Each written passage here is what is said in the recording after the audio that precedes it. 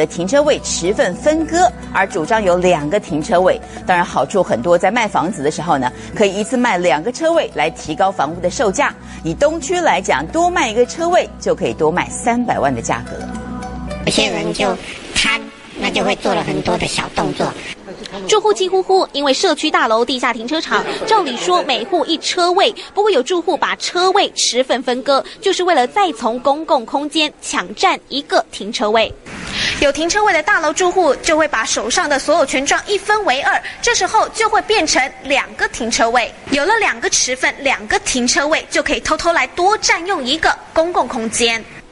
车主偷吃布像是原本白色车停在停车格，不过后头刚好就卡死一个公共空间，手上持份分办车主顺势主张这是他的停车位。另一边后方两辆车也乖乖停在停车格，不过前面硬是多停一辆在车道上。晚上下班还会有另外一辆停进来，这种状况在老旧社区的超大地下停车场越来越多，很多住户开始将停车位持份分割，像是这里原本只规划一百零八个车位，现在竟然可以停放超。过三百辆车，我的职分分割之后，我还可以另外转卖出一个车位。我们在管理上面会有很大的一些纠纷跟争执。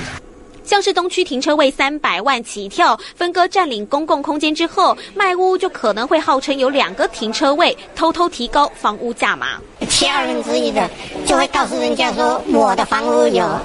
两个车位嘛，所以有附加价值可以卖比较贵一点的车位价格。可是如果你广告说哦，我卖的是因此就要卖两个车位的话，那就涉及广告不实。